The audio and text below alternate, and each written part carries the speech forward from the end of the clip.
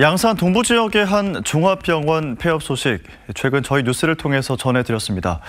의료 공백 사태가 이어지고 있고 또 이 병원이 당초 예정된 일정보다 앞당겨서 문을 닫다 보니 지금 환자들은 비상이라는데요. 공공의료기관 설립을 요구하는 서명운동이 전개되는가 하면 총선을 앞둔 정치권은 각기 다른 해법을 제시하고 있습니다. 정세민 기자의 보도입니다. 오전 10시 양산시 웅상보건지소 2층 발급 창구는 아침부터 찾아드는 환자들의 발길이 끊이지 않습니다.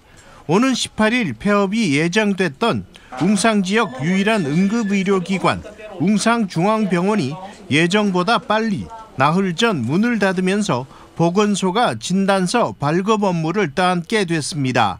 보통 나이가 많으신 어르신들이 집 가까이 뭐 버스나 교통을 이용하기가 불편하신데 걸어서 갈 수 있는 곳에 응급실이 있는 거랑 밤에 또 아프실 때가 제일 걱정이 많다고 하시거든요. 인구 10만 명 거주 지역의 유일한 종합병원이 문을 닫으면서 담당 의사도 간호사도 모두 사라진 상황. 가뜩이나 전국적인 의료 공백 사태의 여파가 커지고 있는 가운데 발생한 일이다 보니 환자들의 불안감은 커져만 갑니다. 보던 의사 선생님 거기 계속 가고 싶은데 이제 딴 데로 가야 되니까 그 불편하고요. 일단 그분이 저에 대해서 잘 아니까 그게 좀 불편합니다. 어, 어느 병원으로 갈지 그것도 좀 걱정이 됩니다. 양산 동부 지역은 민간 종합병원이 문을 닫으면 이 같은 사태가 언제든 반복될 수 있는 상황. 주민들은 이번만큼은 확실히 공공의료원을 설립하자며 뜻을 모으고 나섰습니다. 지금까지 계속 이제 민간이 협상을 해서 매각을 하든지 인수를 하든지를 했는데 벌써 이제 10년 동안 반복이 되는 상황이니까 이제는 공공에서 좀 나서서 이거를 좀 해달라는 취지로 웅상 이제 공공의료원 1만 명 서명 운동을 지금 진행하고 있고요. 이번 사태는 총선을 앞두고 있는 여야 국회의원 후보들에게도 불똥이 튀었습니다.